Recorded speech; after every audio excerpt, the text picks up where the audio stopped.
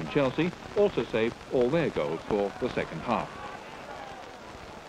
The Spurs attack here, which ends pretty weakly.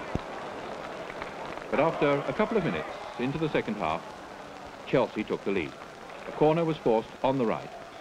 And watch out after some indecisive play by the Spurs defence for number seven, Keith Weller.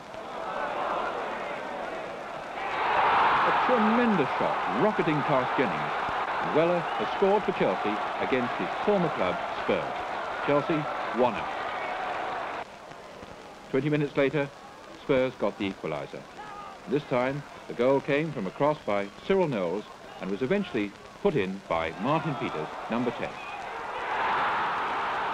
Another very good goal, a typical Spurs goal, one all and everything to play for.